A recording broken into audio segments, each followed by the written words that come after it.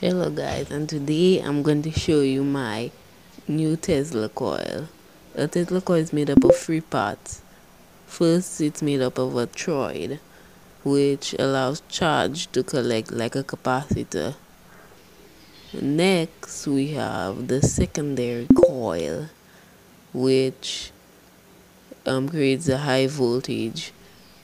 And then the primary coil which induces a magnetic field.